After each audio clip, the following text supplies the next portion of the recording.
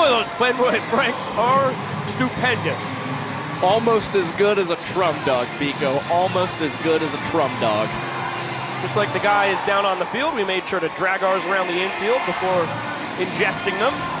Now Garett Delano, one of the best pitchers on tour. In his third campaign for the Party Animals, takes over for the bottom of the third. This is Delano's 17th outing this season, his fifth in relief for the Party Animals. He is working much quicker in his third season with the Party Animals. He's dropped his average MPI this season by almost one minute from last year. Ryan Cox chops the second pitch over to his shortstop counterpart, Chase Acuff, who fields this one between the legs and already has a hat trick's worth of trick plays in this ball game for the Animals. Another look, that's a doozy. It does not get much better than that. As DR Meadows, now that we're back at the top of the order, taking a creative route in, bangs on the pesky pole, and sprints all the way from the right field wall to home plate.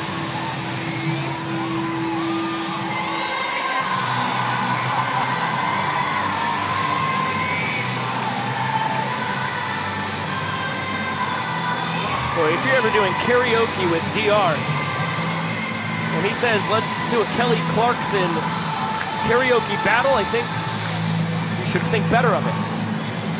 I want no part of that matchup.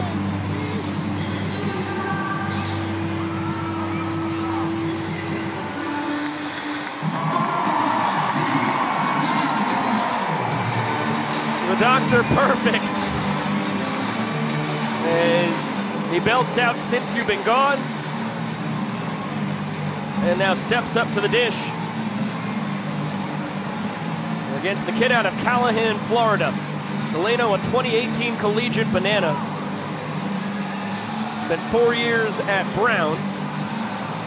During his Ivy League days was when he was a collegiate nanner. Then he finished up with a year at Mercer University.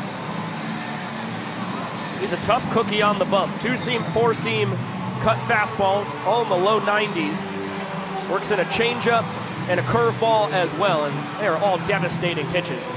And this is a powerful matchup we've got between these two guys. Delano leading all party animals with his 45 strikeouts this season, and DR Meadows has had 91 consecutive plate appearances without a strikeout for the Bananas. A remarkable 15 ball four sprint to four strikeout ratio on the tour. As he can't connect on the cutter, we'll get a payoff pitch. That's what the doctor does. So good at spoiling. I mean, he's very reminiscent of an old school leadoff hitter. He's got a very short swing, sometimes tries to slap singles, and he's got high level speed and a guy you know is easily going to bat 300. And Reese Hampton took a couple steps back, unsure if that one was going to drift on him a little bit. Took a couple steps back in in center field, coming up with the second out for Garett Delano.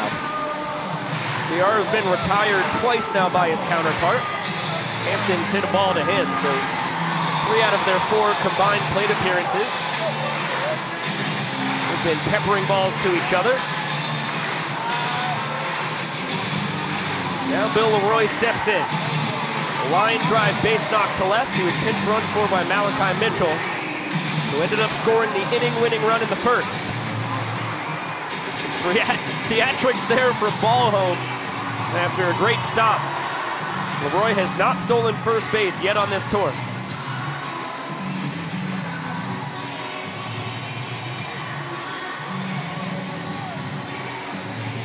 Maceo Harrison, the dancing first base coach, continues to wow full capacity crowd on hand here in Beantown.